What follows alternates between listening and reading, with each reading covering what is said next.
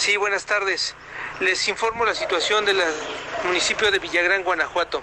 Ayer aproximadamente a las 11 de la noche recibimos la instrucción del jefe de gobierno, doctor Miguel Ángel Mancera, para poder apoyar a la familia que estaba solicitando, ya que el menor Víctor Antonio Arellano, de aproximadamente dos años y medio, se presume cayó desde el día jueves a un pozo de, esta, de este municipio, por lo que se nos ordenó salir de inmediato.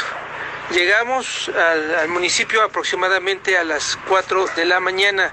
Ya llevamos dos ingresos, cada ingreso aproximadamente de 60 metros.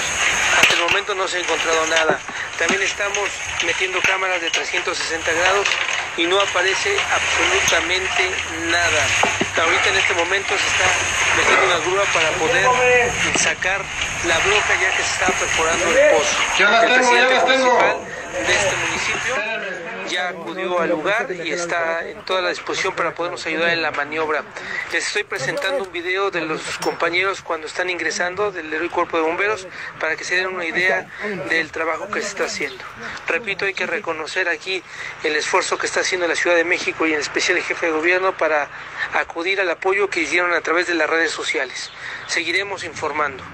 Muchas gracias y que tengan buena tarde y estaremos y esténse al pendiente de lo de cualquier situación aquí en Villagrán, Guanajuato. Muchas gracias.